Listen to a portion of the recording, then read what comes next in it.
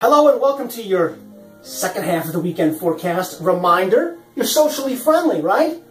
You'd be friendly with me in person, so why not with the social media? CNY Jeff Matthews is where you follow me on Twitter. CNY Jeff Matthews is where you follow me now on Instagram. Let's have a look at the thermometer. Now, compared to the average of 58, Sunday, dramatic warm up, 65. Monday, Columbus Day, 73.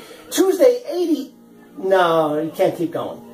And then there's a shelf drop off here as we continue to slowly meander down towards average of 58, and by the time we get there, it'll be lower.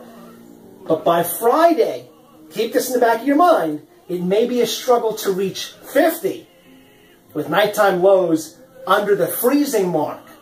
Now that's not like shocking because it is the middle of October, but it's something to be aware of next Friday and next weekend.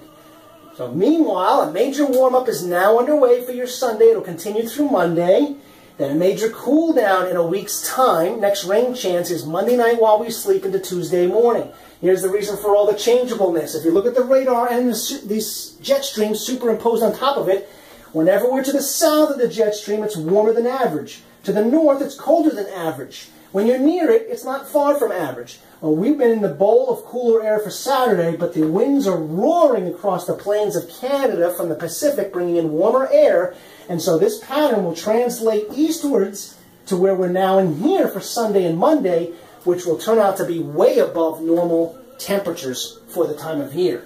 There goes the cold front off the coast that brought the cool shot for Saturday, the drier air for Saturday into Saturday night. And that patch of clouds is the precursor to those roaring winds that are creating those clouds because you've got the cool air getting bumped into hard by the warmer air, and that creates condensation or cloud cover. So Sunday, we'll see a period of increasing clouds. So, having the front moved off the coast on a bright Saturday and a clear Saturday night, look for a bright start to Sunday, but the clouds are going to increase throughout the day.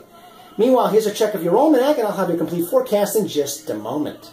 Welcome to Intermission.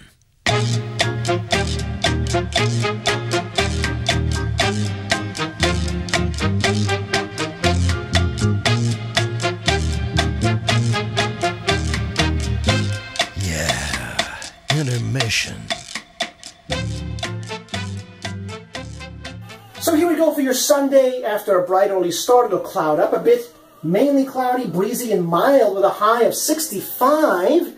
That's going to feel nice after Saturday's 55. And then breezy conditions continue through Monday, and it'll turn even warmer with a mainly sunny sky and a high of 73. And then it'll cloud up Monday night with a shower or two overnight into early Tuesday, and then it'll partially clear out. But then Wednesday, Thursday, and Friday, these shots of colder air moving across the lake will likely set off some clouds and maybe some brief light showers or sprinkles each day, and then it'll calm down for the most part each night.